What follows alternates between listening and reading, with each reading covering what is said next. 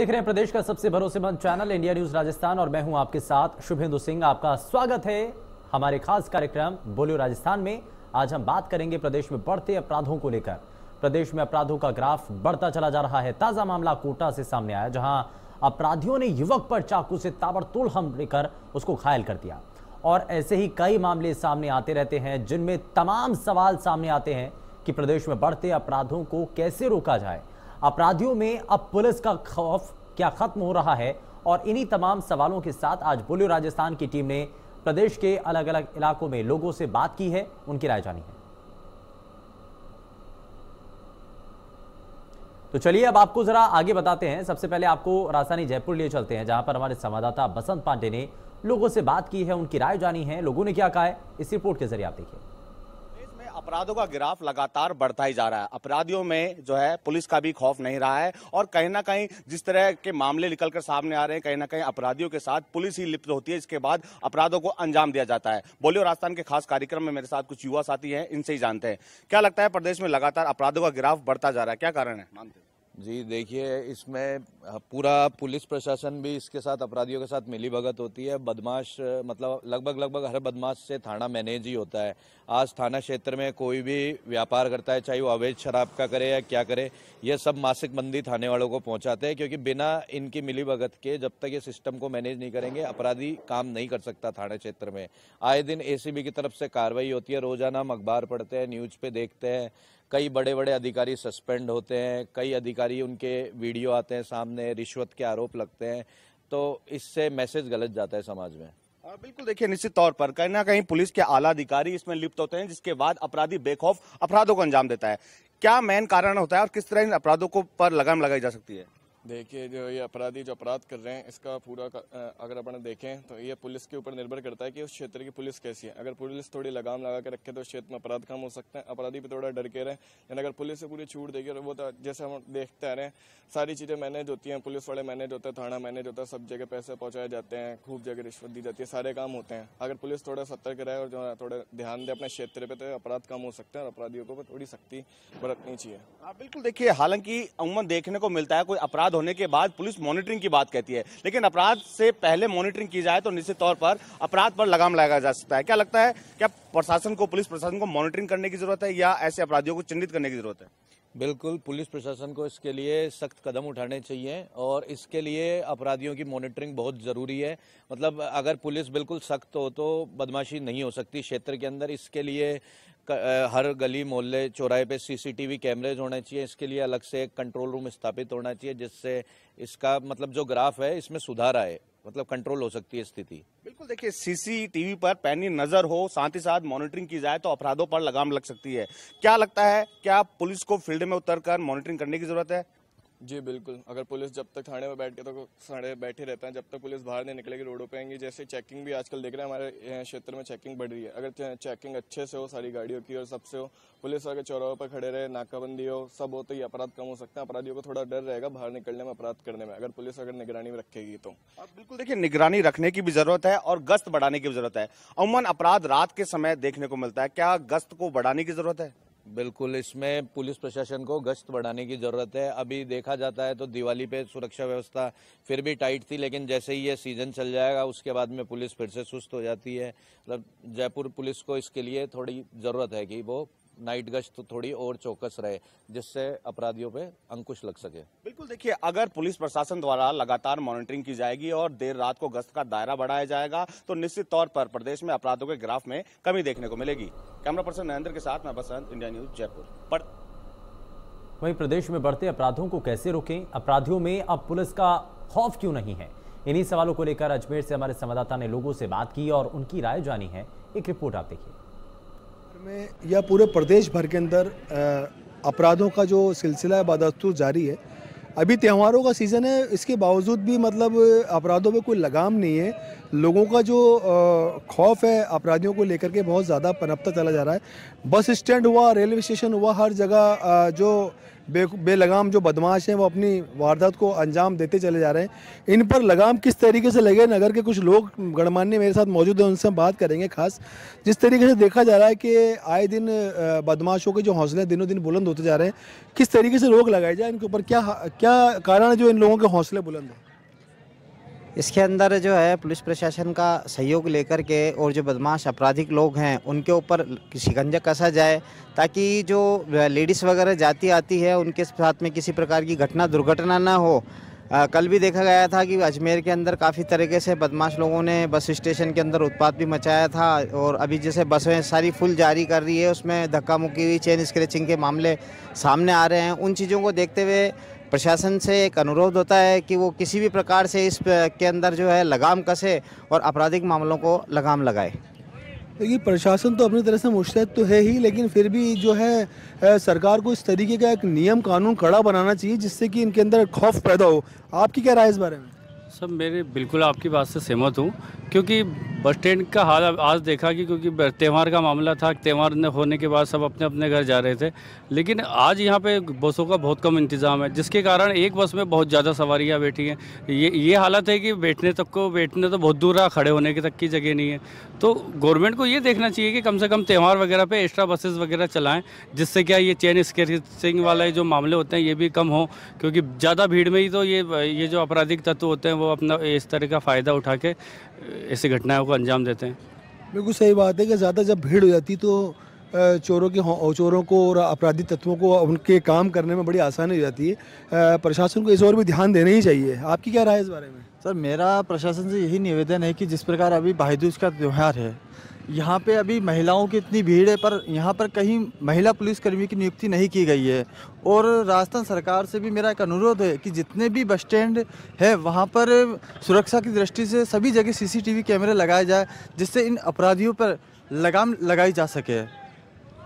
ये भी एक सही बात है कि अपराधियों पर लगाम के लिए सीसी कैमरे भी होना बहुत ज़्यादा ज़रूरी है कि अगर अगर सीसी कैमरे अगर लगे हुए हैं तो शायद कुछ लोगों में या अपराधी तत्वों में कुछ खौफ पैदा हो जिससे इन पर अंकुश लगे सके सके। शंकर गोमा के साथ जावेद खान, इंडिया न्यूज़, अजमेर। वहीं बीकानेर से हमारे संवाददाता भवानी जोशी ने लोगों से इसी मुद्दे पर राय जानी है। लोगों ने क्या कहा है? जरा आगे आप देखिए पूरी तरह से बिगड़ चुकी है, अपराधियों के हौसले इतने बुलंद है कि वह पुलिस थानों में भी हमला कर रहे हैं, वहीं पुलिस कर्मियों पर भी जब गिरफ़्तार करने जाते हैं तो उन पर भी हमले करने में नहीं चूक रहे हैं। आए दिन लूट, खसोट व रंगदारी के नाम से हत्या तक कर दी जाती है।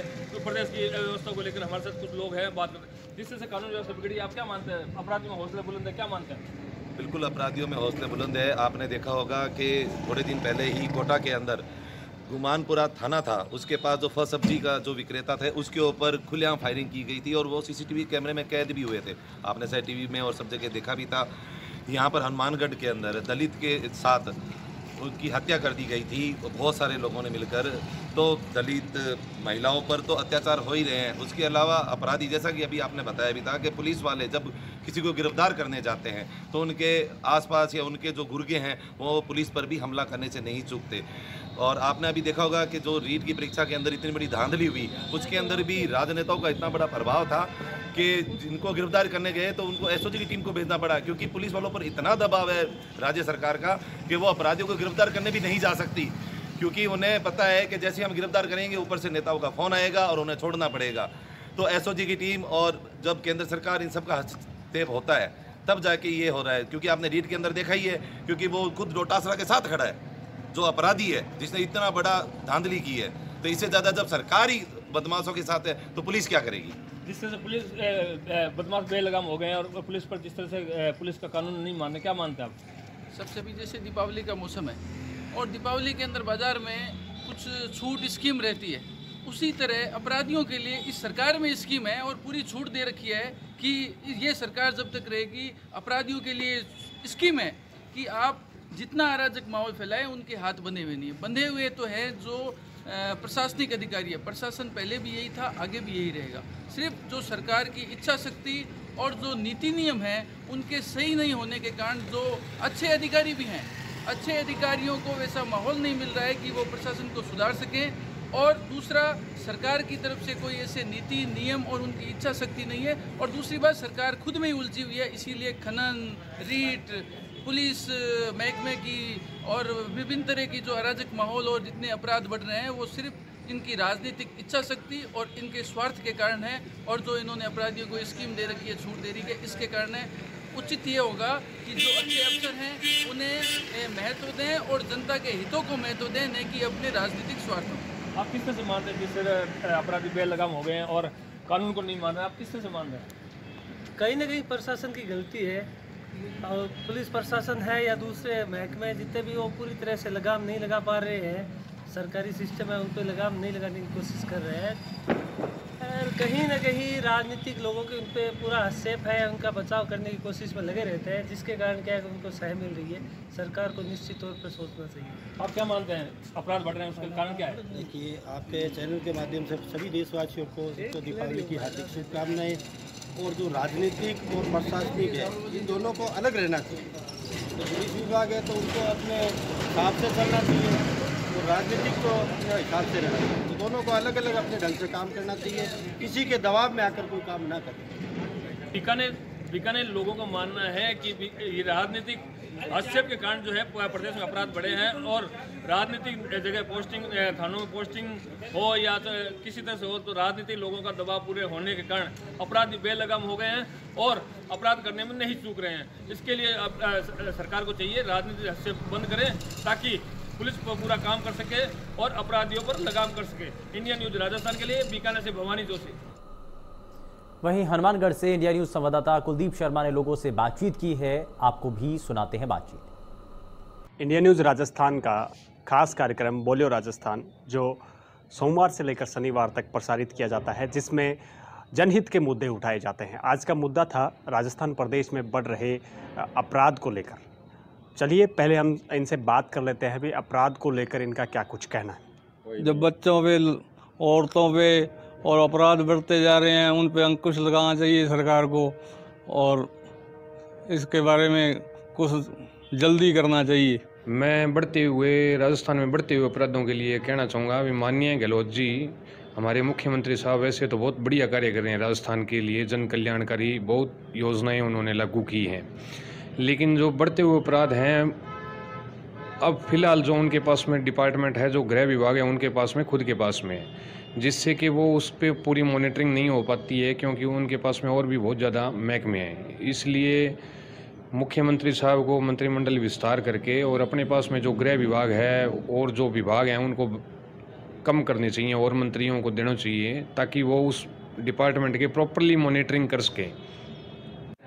अभी हम लोग दाएँ बाएँ देखते हैं तो हमारे आसपास में अपराध जो है ना, बहुत ज़्यादा घटित हो रहे हैं। जो अपराध कम एजुकेशन से या जो भी समाज के अंदर कुरीतियाँ हैं, नशे की प्रवृत्ति है, और प्रवृत्ति हैं, उनकी वजह से बहुत ज़्यादा हो रहे हैं। तो हम ये सरकार से दरख्वास्त करते हैं कि इन पे जितना भी हो सके सरकार को पाबंदियाँ लगा के एक्टिवनेस अधिकारियों में ला के ज़्यादा से ज़्यादा इस पर पाबंदियाँ लगाई जानी चाहिए। नहीं तो ये बढ़ता हुआ जो अपराध है, ये समाज के लिए बहुत ही घातक है। आने वाले समय में हमारे बच्चे, नौजवान जो भी हैं, वो बढ़िया कार्य नहीं कर पा रहे हैं। अपराध की तरफ़ उनका ध्यान बहुत ज़्यादा आकर्षित हो रहा है। हाँ राजस्थान में अपराध बढ़ रहे हैं। हमारा तो यही कहना है गहलोत साहब से, सीएम साहब से, अच्छे प्रशासक हैं वो। ये अपराधों को अंकुश लगाया जाए, इन पे, इनको बंद किया जाए अपराधों को। ज़्यादा से ज़्यादा ध्यान दिया जाए इस तरफ़। ये नहीं होना चाहिए राजस्थान में। सरकार से हमने इनसे जाना इन्होंने साफ़ तौर पर कहा है कि गहलोत सरकार को इस ओर कदम उठाना चाहिए और गहलोत सरकार की प्रशंसा भी इन्होंने की है भी वो अच्छे प्रशासक है। लेकिन इसी के साथ उन्होंने ये भी कहा है कि गहलोत सरकार को अपने अधीन जो भी अधिकारी है जो आ, जो लेवल है जिन पे ये ज़िम्मेदारी है भी अपराध को कम किया जाए उन्हें थोड़ा सा कड़ाई से पालन करवाई जाए ताकि अपराध में राजस्थान जो है जिस प्रकार से अपराध में आगे जा रहा है उसे वापस पटरी पर लाया जा सकता है। हनुमानगढ़ से मेरे सहयोगी राकेश छिंपा के साथ कुलदीप शर्मा इंडिया न्यूज़। वही बढ़ते अपराधों को लेकर के हमारे संवाददाता ने भीलवाड़ा में भी जाकर के स्थितियों का जायजा लिया। लोगों से बातचीत की है लोगों ने क्या कहा? जरा वो आपको दिखाते हैं। इंडिया न्यूज़ के लोकप्रिय कार्यक्रम बोलो राजस्थान के तहत आज हम भीलवाड़ा के जो राजनीति से जुड़े हुए जनप्रतिनिधियों से और आम जन से जानेंगे किस प्रकार पुलिस का अपराधियों में खौफ कम हो रहा है और अपराधी बेलगाम होते जा रहे हैं। आइए हम जानता जी सर। भीलवाड़ा ज़िला, जो राजस्थान का सबसे शांति प्रिय ज़िला कहलाता था, लेकिन पिछले काफ़ी समय से यहाँ पर जिस तरह की आपराधिक घटनाएँ हो रही है, मैं सोचता हूँ ये भीलवाड़ा ज़िले के लिए और राजस्थान की सरकार के लिए बहुत ही दुर्भा दुर्भाग्यपूर्ण है। पिछले दिनों यहाँ पर अफीम तस्करों के हाथों तीन पुलिसकर्मी शहीद हो गए हैं। आए दिन बजरी माफिया द्वारा प्रशासनिक अधिकारियों के साथ मारपीट की जा रही है, दुर्घटनाएँ की जा रही है। दीपावली पर अभी जो घटना हुई है, वो सबको चौंकाने वाली है। एक सामान्य सी बात फटाके छोड़ने को लेकर, जिस तरह से एक सत्तर वर्ष के बुज़ुर्ग पर चाकुओं से हमला किया गया ये कोई सामान्य घटना नहीं है। इसी के साथ में, अब बात क्या करें? पिछले 20 दिन से भीलवाड़ा ज़िले का एसपी नहीं है। छोटी मोटी घटना के लिए आईजी को यहाँ आना पड़ रहा है। ये सरकार कितनी बेबस है? सरकार, मुझे लगता ही नहीं है कि तो कोई सरकार है। इन नेताओं की खींचतान के आगे मुख्यमंत्री नतमस्तक है। वहीं सारे नेताओं के सामने पुलिस और प्रशासन के अधिकारी नतमस्तक है। आज अपराधियों में जो खौफ होना चाहिए, जो डर होना चाहिए और जनता में जो विश्वास होना चाहिए, आज उसका अभाव हो गया है। और आए दिन जो बढ़ रही घटनाएँ, ये मैसेज दे रही है कि अब सरकार नहीं है, अब प्रशासन नहीं है, अब पुलिस नहीं है, खुद की रक्षा खुद को ही करनी पड़ेगी। और मैं सोचता हूँ कि सरकार को तुरंत कदम उठाने चाहिए। भीलवाड़ा ज़िले को जो शांति प्रिय था शांति प्रिय रहे, यहाँ पर आपराधिक घटनाएँ कम हो। इसके लिए कोई दमदार कोई अच्छा पुलिस का अधिकारी तुरंत नियुक्त हो तो यहाँ आपराधिक घटनाओं में काबू पाया जा सकता है। अपराधी बेलगाम हो रहे हैं। आए दिन बजरी की जैसे घटनाएँ हुई बजरी माफिया है तस्कर है ये बोलबाला है। पुलिस का खौफ दिखाई दे रहा है। पुलिस अभी जब से अभी एसपी साहब यहाँ से नहीं है तब से पुलिस कहीं नज़र आती नहीं है। और जितने भी जो गुंडे बदमाश हैं वो सब बाहर आ, आ गए हैं। आए दिन रोज़ घटनाएँ देखने को मिल, मिल रही है कि वो आपस में लड़ाई झगड़ा बढ़ रहा है या पुलिस उन पर कार्रवाई नहीं कर रही है इससे डर थोड़ा ख़त्म हो गया है। बजरी माफियाओं के जो ट्रैक्टर हैं वो इतने स्पीड से चलते हैं कि रास्ते में कोई भी आ रहा है तो उनके साथ एक्सीडेंट की घटनाएँ घट रही है। तो हमारा मानना है कि अभी जो प्रशासन का जो है ना वो डंडा कम है और घटनाएँ बढ़ रही है। एक पुलिस का स्लोगन होता है आम जन में विश्वास और अपराधियों में डर। लेकिन ये आजकल होता दिखाई नहीं दे रहा क्योंकि अपराधी बेलगाम हो रहे हैं। क्या कहना चाहिए इस बारे कल की जो घटना हुई बहुत दुर्भाग्यपूर्ण है। एक बस्ती में घुसकर पचास साठ लाख साठ लोगों ने हम सलाह होकर हमला किया और उसके बाद भी अधिकांश लोगों की गिरफ्तारी नहीं हुई है। जो पुलिस का एक ध्येय वाक्य है, आम जन में विश्वास और अपराधियों में डर। अभी इसका ठीक उल्टा हो रहा है। अपराधियों में अब बेखौफ होकर वो अपराध कर रहे हैं और आम जनता भय से ग्रस्त होकर जीने को मजबूर हो रही हैं। धन्यवाद। क्या मानते हैं? अपराधी बेलगाम हो रहे हैं अपराधियों में पुलिस राजस्थान में जंगल राज हो गया है। गहलोत सरकार कानून व्यवस्था को लेकर बिल्कुल नकारा और नक, निकम्मी सरकार हो चुकी है। अपराधी आए दिन घर में जाके बुज़ुर्ग आदमी के ऊपर सत्तर साल के बुज़ुर्ग आदमी के ऊपर हमला किया उन्होंने। ये इससे ज़्यादा और शर्मनाक बात क्या होगी? आए दिन बजरी माफियाओं का भी देखने को मिलता है। अफीम जो तस्करी होती है इसमें भी कई बार हादसे हो चुके हैं। क्या करें? बिल्कुल ये आए दिन आपराधिक घटनाएँ घट रही है, बजरी माफिया भी हैवी हो रहे हैं। उस, और उसी की एक घटना ये है, अपने भिलवाड़ा में पहले तस्करों ने पुलिसकर्मियों को गोली मार दी और अभी कुछ दिन पहले एक तस्करों का पीछा करते हुए एक पुलिसकर्मी शहीद हो गए। तो ये राजस्थान सरकार की नकारा और निकम्मी सरकार है। बिल्कुल। तो ये थे बिलोड़ा के लोग जिन्होंने बताया कि पुलिस के अंदर जो एक टेरर होना चाहिए जो खौफ होना चाहिए अपराधी में, वो दिखाई नहीं दे रहा, जिससे अपराधियों के हौसले बुलंद हो रहे हैं, जिसी का एक हमें देखने को मिलते हैं कि तीन पुलिसकर्मी जहाँ शहीद हो गए वहीं भी जो बजरी माफिया हैं, जो अपराधी हैं, वो कई बार पुलिस पर भी हमला कर चुके हैं। लेकिन जो एक देखा जाए, जो पुलिस का एक खोप होता अपराधी वो कहीं दिखाई नहीं दे रहा है। इंडिया न्यूज़ के लिए मैं बिलोड़ा से प्रहलाद के लिए।